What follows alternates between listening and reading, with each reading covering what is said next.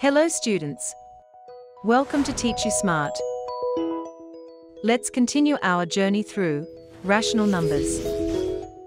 Today, we are going to discuss additive identity and additive inverse. In our previous sessions, we discussed the commutative property and the associative property of rational numbers. The commutative property of rational numbers for addition says that any two rational numbers, a and b, a plus b equals b plus a.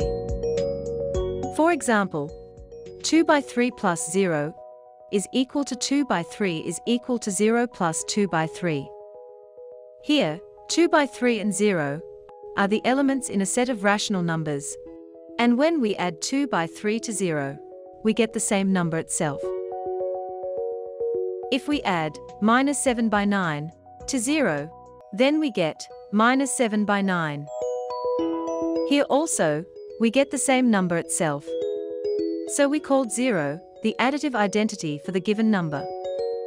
That is, the additive identity is a number that, when added to any other number, does not change the value of that number.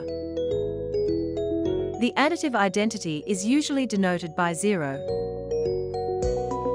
In general, we can say that, for a rational number, a, a plus 0 equals 0 plus a equals a, or a plus 0 equals a.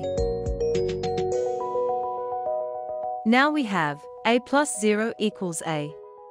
Or, we can write it as a plus minus a equals 0.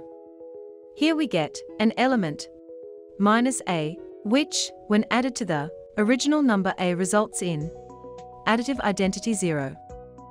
And we called minus a as the additive inverse of a. In general, we can say that the additive inverse of any number a is represented by minus a. So the additive inverse of a is minus a. Because a plus minus a equals 0.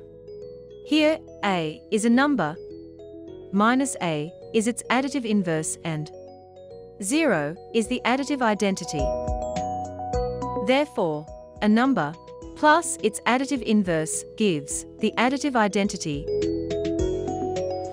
For example, the additive inverse of 5 is minus 5 because 5 plus minus 5 is equal to 0. Similarly, the additive inverse of minus 1 by 3 is 1 by 3. Because minus 1 by 3 plus 1 by 3 equals 0. Let's recall what we discussed today. Today we discussed additive identity and additive inverse.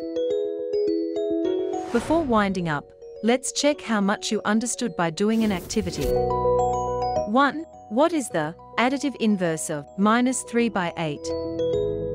2 is 0.5, the additive inverse of minus 1 by 2. Why or why not? That's all for now. See you all in the next class.